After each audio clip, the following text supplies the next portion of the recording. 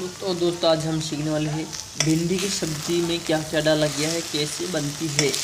Okay, और देखिए, गाँव में ऐसे सब्ज़ी बनाई जाती है। तो आज हम सीखेंगे कामली बाई से भिंडी की सब्ज़ी बनाना। देखिए, कामली बाई सबसे पहले भिंडी काटी, ये देखिए, भिंडी काटी, और फिर हरी मिर्ची काटी।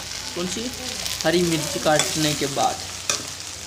हरी मिर्ची काटने के बाद दोनों कढ़ाई में तेल डाला। कढ़ाई में तेल डालने के बाद हरी मिर्च और भिंडी को डाल दी है। हरी मिर्च और भिंडी को डाल दी है और तेल तेल डाल दिया है। और ये पकने के लिए तैयार हो रही है हमारे भिंडी की सब्ज़ी। उसके बाद इसमें क्या डालेंगे? हल्दी डालेंगे, तेल डाल दिया है और हल्दी डालने के बाद इसे थोड़ी और पकने देंगे। पकने के बाद ये हमारे खाने के लिए तैयार है, इसमें कुछ नहीं था केवल भिंडी और हरी मिर्ची। तेल डालना पड़ता है सब सब्जियों में और लहसुन भी डाल सकते हो और प्याज भी डाल सकते हो अगर आप अच्छा स्वाद देना चाहते हो तो। ओके? और इतना आप चैनल को लाइक और सब्सक्राइब कर लीजिए और वीडियो पाने के लिए सब्ज़ी रोटी ओके?